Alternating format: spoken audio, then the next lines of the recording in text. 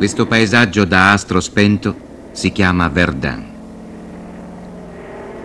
Mezzo secolo fa la morte ha arato questi campi. Qui si è svolta la più sanguinosa e sterile battaglia della storia. Qui si sono battuti 4 milioni di soldati. Ben 400.000 vi sono morti.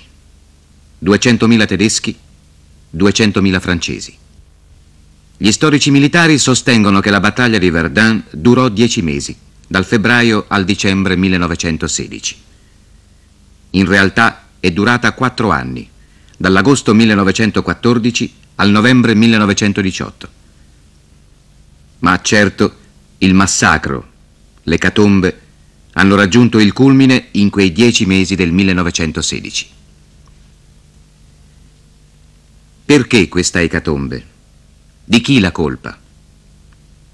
Fu un massacro scientemente voluto o un errore strategico gravissimo?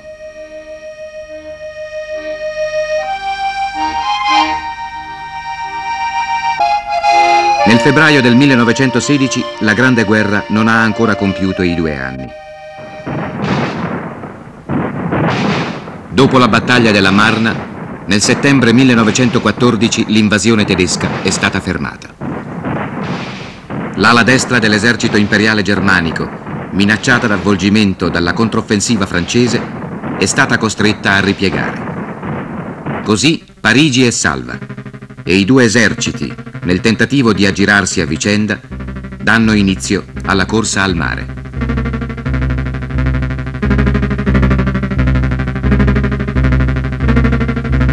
Alla fine dell'anno la situazione strategica può dirsi stabilizzata.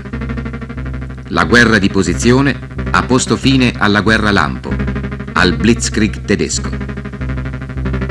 I francesi sono riusciti, a prezzo di perdite sanguinose e lasciando al nemico una grossa fetta di territorio nazionale del nord-est, a contenere prima e a inchiodare poi la poderosa macchina bellica del Kaiser.